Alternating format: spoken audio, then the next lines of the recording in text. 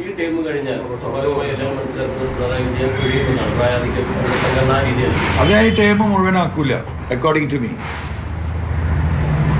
ഈ ടേം അദ്ദേഹത്തിന് മുഴുവൻ മുഖ്യമന്ത്രിയായി തുടരാൻ കഴിയില്ല. അല്ലെങ്കിൽ മന്ത്രിസഭ തന്നെ ഉണ്ടാവില്ല. എഴുതി വെച്ചോ. ആശ്മി എഴുതിക്കോ.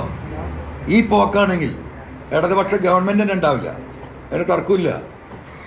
ഒപ്പം സഹിച്ചു നിൽക്കുന്നതിന് പരിധി ഉണ്ടാവും. ഈ കണ്ടു കാണപ്പെട്ട എം എൽ എമാർക്ക് ഒരു പരിധി കഴിഞ്ഞാൽ അത് പൊട്ടും. ഇപ്പം മിണ്ടാൻ ഭയപ്പെട്ട് വിഷമിച്ച് നിൽക്കുന്ന പലരുണ്ട്. ഇതെന്തെങ്കിലും ഒരു തീരുമാനമാവട്ടെ വിചാരിച്ചിട്ട്. ഇനി ഒരു തീരുമാനമാവാതെ ഈ കോലത്തിലാണ് പോണെങ്കിൽ ഈ മന്ത്രിസഭ തന്നെ ഉണ്ടാവില്ല. നിങ്ങൾ എഴുതി വെച്ചോ. അവിടെ ഈ മുഖ്യമന്ത്രിയെ താങ്കളൊരു രാഷ്ട്രീയ ഗോഡ്ഫാദർ ആയാണ് പിണറായി വിജയൻ വിശേഷിപ്പിച്ചത് അവിടെ എം കെ സ്റ്റാലിനെ റീപ്ലേസ് ചെയ്തുകൊണ്ട് ഒരു കൗണ്ടർ തന്നെയാണ് അതിലേക്കൊന്നും എത്തിയിട്ടില്ലല്ലോ. ഇപ്പോൾ രാഷ്ട്രീയത്തിൽ കിടക്കുമ്പോഴല്ലേ ഞാൻ പറഞ്ഞില്ല ഞാനിപ്പോൾ ഈ പറയുന്ന ബഹുമാനപ്പെട്ട എം കെ സ്റ്റാലിനെയും ഡിപ്പെൻഡ് ചെയ്തിട്ടൊന്നുമല്ല ഞാൻ നിൽക്കുന്നത്. ഞാൻ ഈ നാട്ടിലെ ജനങ്ങളെ ഡിപ്പെൻഡ് ചെയ്തിട്ടാണ് നിൽക്കുന്നത്. മനസ്സിലായില്ലേ?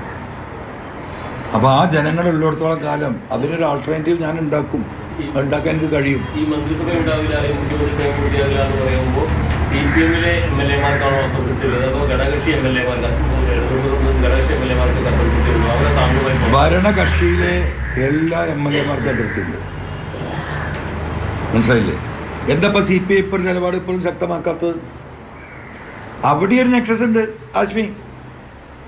അവിടെ നെക്സസ് ഉണ്ട്. ആ നെക്സസ് ഒക്കെ ഇപ്പൊ പൊട്ടും. ഇതൊക്കെ ഇങ്ങനെ വരിഞ്ഞ് മുറുക്കി നിർത്തിയാലുണ്ടല്ലോ. ഇരുമ്പാണെങ്കിൽ പോലും അതിന്റെ ടെമ്പർ കൂടിയാൽ പൊട്ടിപ്പോകുന്ന കണ്ടിട്ടില്ലേ? ആ ടെമ്പർ ഓരോ ദിവസവും ഇതിങ്ങനെ ഹീറ്റ് ആകുമ്പോഴാണ് ടെമ്പർ കൂടുക. ആ ഹീറ്റ് വർദ്ധിച്ചുകൊണ്ടിരിക്കുക. പൊട്ടും.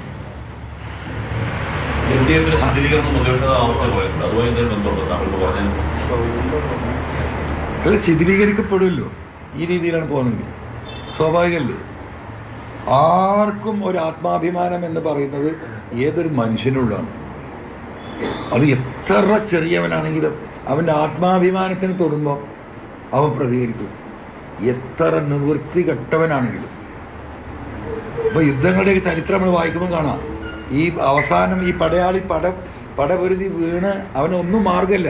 അപ്പം എതിരാളി വന്നിട്ട് ഈ ശൂലം കുത്തി ഇറക്കാൻ വരുമ്പം ആ കിടക്കുന്നിടത്ത് ഇവന്റെ മുഖത്തേക്ക് തുപ്പും. അവൻ അതേ മാർഗമുള്ളൂ. അതാണ് ഒരു മനുഷ്യന്റെ അവസാനത്തെ പ്രതികരണം. ആ അവസ്ഥയിലേക്ക് കേരളത്തിലെ കൊണ്ടുപോകുന്നുണ്ട്. അത് ഇവർ കാണും ഈ പോക്കാണെങ്കിൽ. അത് അനുഭവിക്കാൻ പോകുന്നത് ഈ പാർട്ടി കെട്ടിപ്പടുത്ത ഈ രക്തസാക്ഷികളും ഈ സാധുക്കളാണ്. അതിന്റെ ദുരന്തം അനുഭവിക്കാൻ പോകുന്നത് പക്ഷെ അതിനൊന്നും പുല്ല് വിലയാണ്.